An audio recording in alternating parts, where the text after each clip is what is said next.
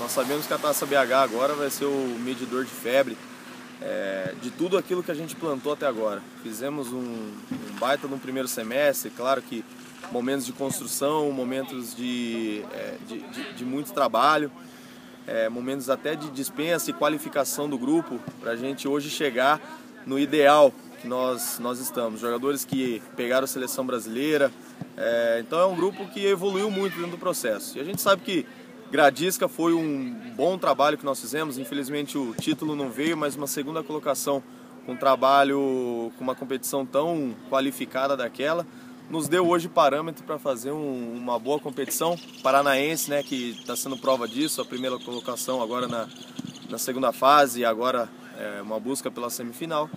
E a gente está indo com propósito para a Taça BH, sabendo que para o processo de formação é totalmente importante esses jogos de alto nível, principalmente com os times que nós vamos pegar agora na BH.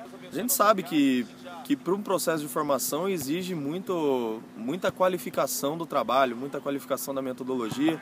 E isso hoje a gente está vendo muita mudança em relação ao que a diretoria está colocando para a gente, pensamento, a filosofia. Nós estamos reunindo toda segunda-feira para definir conceitos, com essa preocupação justamente de fazer o Curitiba maior, né? de, de fazer com que o clube evolua nas suas capacidades, enxergar o futebol como, como um jogo sistêmico, como, uma, como um todo, né? não, não dividir ele em todas as áreas preocupadas.